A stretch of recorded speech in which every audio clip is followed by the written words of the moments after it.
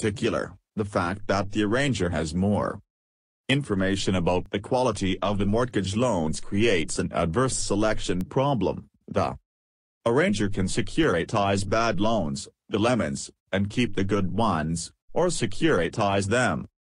Elsewhere, this third friction in the securitization of subprime loans affects the relationship that the arranger has with the warehouse lender, the credit rating agency, CRA, and the asset manager. We discuss how each of these parties responds to this classic